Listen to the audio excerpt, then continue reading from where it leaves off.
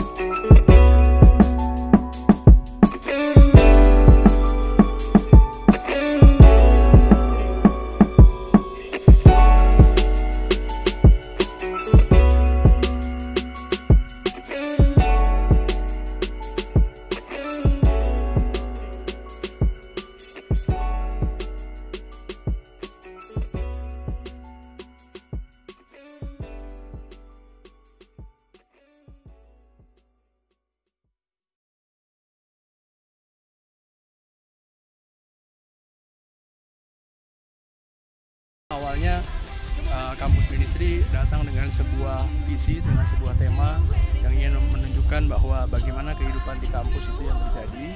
Setelah itu uh, kampus perwakilan kampus Yola meminta tolong untuk digital ministry membuat satu film pendek yang intinya menggambarkan bahwa di dalam kehidupan uh, perkuliahan, di dalam kehidupan kampus kita bisa memilih jalan apa pun itu, entah itu baik maupun yang tidak baik karena itu akan menjadi kehendak bebas kita sebagai manusia. Di kampus ministry ini untuk tepatnya untuk di acara TDBM nanti film ini akan ditayangkan tujuannya adalah untuk menjangkau teman-teman kampus bahwa mereka punya hak bebas untuk memilih mereka ini akan seperti apa baik buruknya kita akan gambarkan dan akan ilustrasikan melalui setiap film-film ini.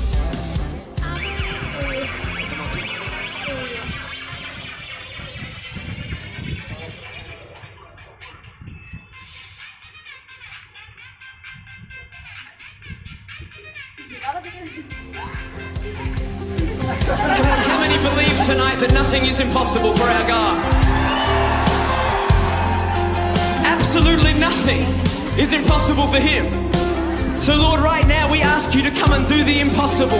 What man thinks is impossible, would you come tonight and show them that with you, Nothing is impossible. Who would like to see that tonight?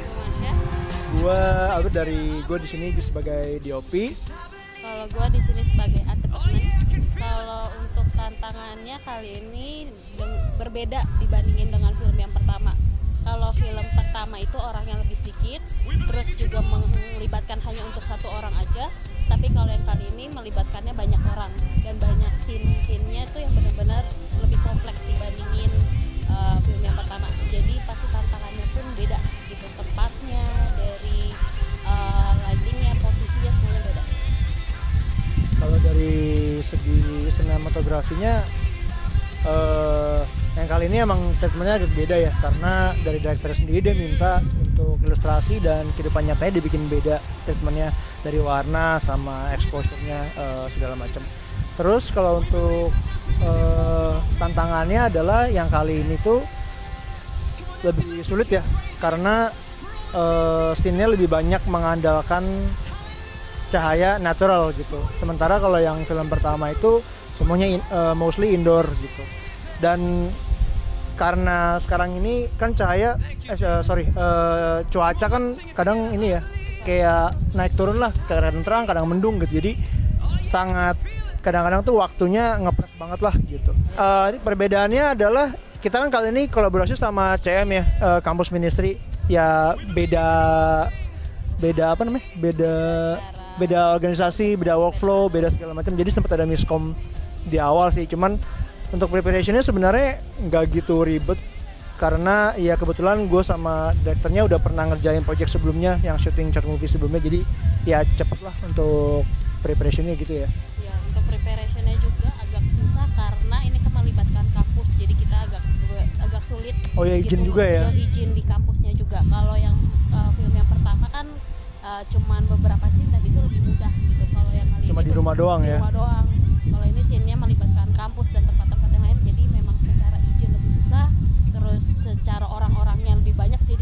mengatur schedule orang-orangnya pun juga susah gitu. Jadi memang kalau untuk preparation mu- mungkin tantangannya lebih ke situ sih. lebih banyak Lebih orangnya banyak. Come on, say it out loud. You are good. And your mercy endures forever. Say it again. You are good. And your mercy endures forever. Come on, clap your hands and shout if you believe it tonight. Come on, everybody.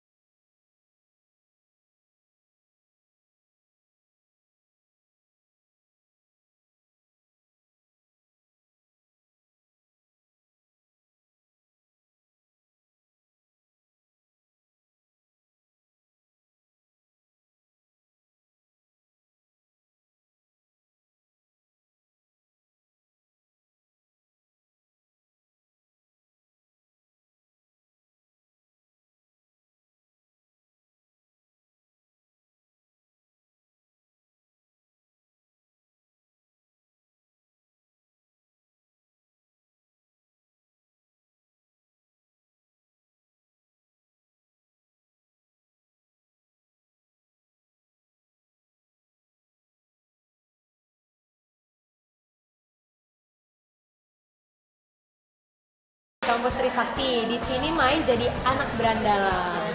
Hehehe, aku Valeri. di sini aku juga main jadi anak berandalan. Di sini kita itu tugasnya supaya jadi kayak julid, pokoknya Bully segala orang. toxic itu toxic friends itu adalah kita di sini. Kita di sini dan kita bau. Hai, aku Jessica dari LSPR. Perannya sebagai tim Brandon. Tim, Aku tim. Halo, aku Genesia dari FK Atma. Eh, perannya juga sebagai anak berandalan. Anak berandalan. Kami anak berandalan. Kok kita asik sendiri ya? Kok Oh iya, oh iya. Jadi kita tuh suka ngebully orang, yang culun, yang cukup kita lempar-lemparin barang, terus suka ngegibah, ngegosip, itu kesenangan kita. Pokoknya kita berasa paling keren gitu loh di, di kampus. Kita mau gosipin orang. gosip orang, makan kacang, yang penting makan kacang. Terus kalau yang paling kocak sih Pak Projo tiba-tiba si Val ini sebut kita mau gibah. Nggak tahu eh, mau gibahin siapa. Tiba-tiba si Val ngerocos Pak Projo. Kita langsung oh iya tuh Pak Projo. Kita nggak tahu ini siapa, kita nggak. Itu nggak lucu sumpah itu lucu sumpah itu receh itu receh Ya awalnya aneh sih, nggak pernah main jadi peran jahat, terus nggak pernah syuting. Tapi seru.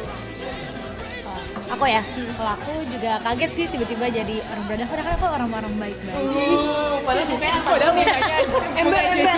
Gitu. Ya, itu doang, nggak ada lagi hal lain. anak ceroboh ya asik asik banget guys syuting buat TDM Iya sih seru banget, seru Iya kan? banget sih. Maksudnya nggak sampai kaget juga kayak ah ya udahlah menghayati peran aja. Ternyata lebih asik dari itu. Iya kayak di direkturnya Apalagi sama orang tapi nggak dimarahin.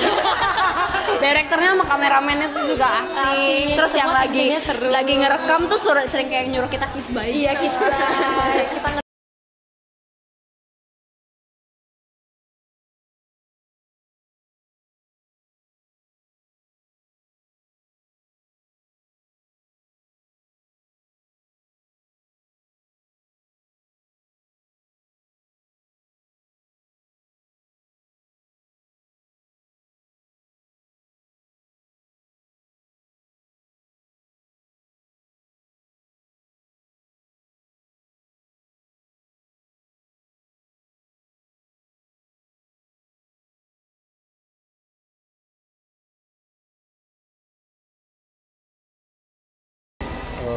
pada kesempatan kali ini bersyukur banget eh, di Today We Meet eh, saya dapat eh, berpartisipasi buat membantu teman-teman anak-anak muda. Saya di sini berperan sebagai ayah, sebagai papa eh, dari orang tua sebagai orang tua. Kemudian eh, peran atau karakter yang diharapkan eh, dimainkan tentunya bagaimana bisa menjadi seorang orang tua atau ayah atau papa yang bijaksana, belajar untuk mendengarkan apa yang menjadi keluh kesah atau menjadi kebahagiaan dari anak-anak dari keluarga. Terus kalau dilihat dari sisi eh, perasaan pas lagi meranin, eh, kayaknya kebetulan punya anak nih, cuman anaknya masih kecil-kecil.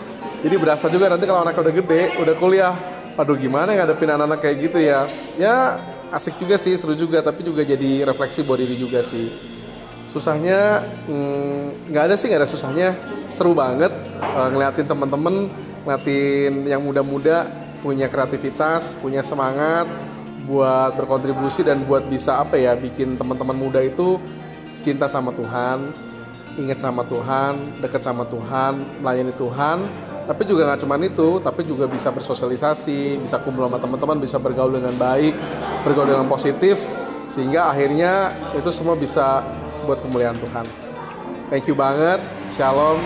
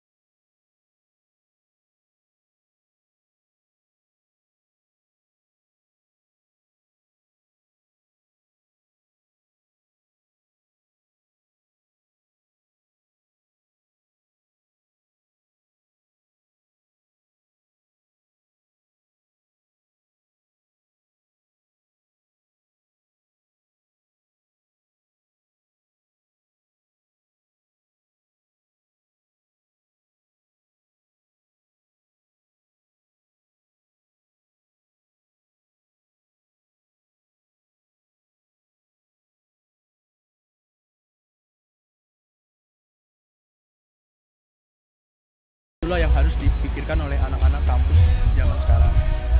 Nah, kenapa kita ini mengambil tentang anak-anak kampus? Karena kebetulan kampus ministry sendiri mendampingi kampus-kampus yang ada persekutuan doanya di Jakarta.